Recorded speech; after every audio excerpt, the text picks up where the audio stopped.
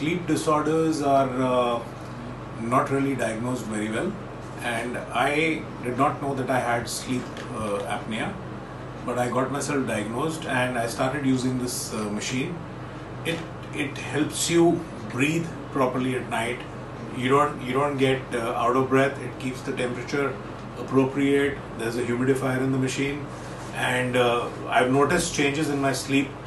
If I earlier uh, like I track my sleep on my Apple Watch, and if I don't use this machine, I my oxygen level levels go down, and the saturation of oxygen is low in my blood, and even the deep sleep cycle which I enter is not more than 30 minutes. But with this machine, the deep sleep cycle is about good one and a half to two hours. So this machine makes a very good difference by using, and I'm very much more energetic the next morning. So I recommend using this machine. Thank you.